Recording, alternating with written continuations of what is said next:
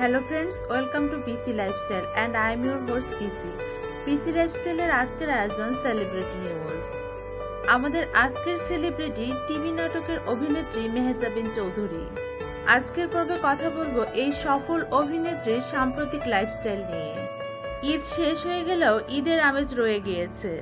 ঈদের বিশেষ নাটকগুলো এখনও চলছে টেলিভিশনের পর্দায় ও ইউটিউব চ্যানেলে।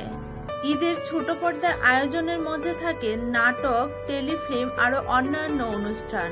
এবার ঈদে মেহেজাবিন চৌধুরী অভিনীত অ্যাম্বুলেন্স গার্লস নাটকটি দর্শক মনে বেশ সাড়া জাগিয়েছে।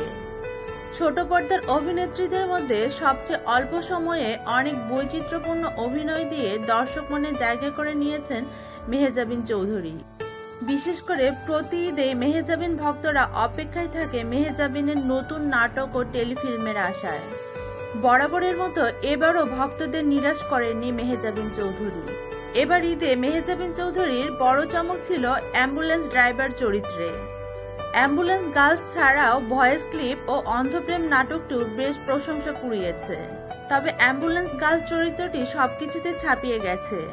অ্যাম্বুলেন্স ড্রাইভারের চরিত্রে অসাধারণ অভিনয়ের জন্য সামাজিক যোগাযোগ মাধ্যমে প্রশংসায় ভাসছেন মেহেজাবিন চৌধুরী।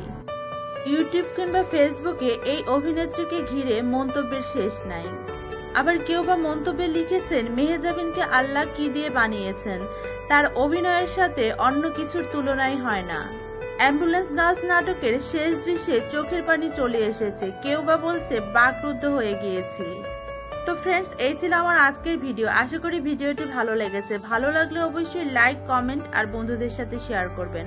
যারা চ্যানেলের নতুন দর্শক চ্যানেলটিকে সাবস্ক্রাইব করবেন। সবাই ভালো থাকবেন। Bye bye